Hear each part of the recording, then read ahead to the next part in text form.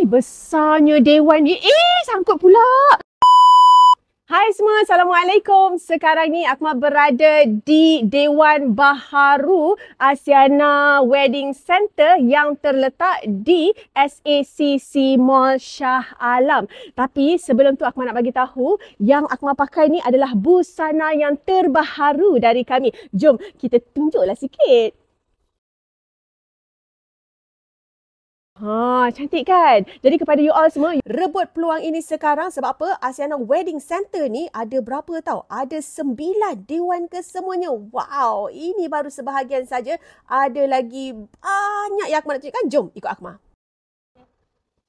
Setiap pasangan mengimpikan perkahwinan yang indah dan cantik. Jangan risau, dekat sini kami sertakan pakej yang paling istimewa serendah RM13,500 sahaja. Apa yang you all akan dapat? Ada menu utama, ada busana pengantin untuk lelaki dan perempuan, makeup untuk pengantin ada, sudut teh ada, PA system, MC pun ada sekali. Yang penting, tempatnya cantik, lightingnya pun letup. Ui, besarnya dewan ni. Eh, sangkut pula.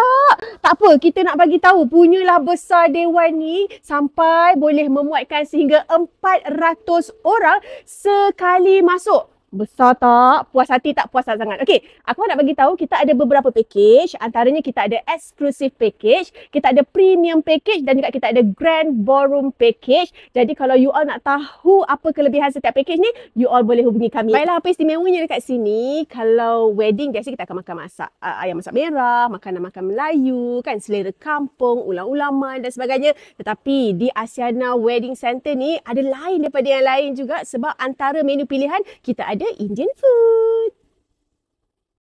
Jujur Akmal share dengan korang makanan dekat sini ya Allah. Sedap sangat-sangat. Semua makanan dia sedap. Nasi dia sedap, lauk dia sedap. Untuk semua bakar raja sehari yang nak buat food testing, pastikan you all buat appointment terlebih dahulu. Okay? Cubalah confirm korang suka. Jadi kepada semua bakal Raja Sehari, jom buat tempahan anda di www.asianaweddingcenter.com. Pelbagai tawaran menarik menanti anda.